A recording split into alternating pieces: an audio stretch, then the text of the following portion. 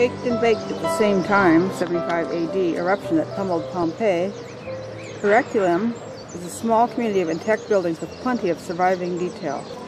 While Pompeii was initially smothered in ash and pumice, Herculaneum was buried under nearly 60 feet of boiling mud, which hardened and baked into tufa, perfectly preserving the city until excavations began in 1738.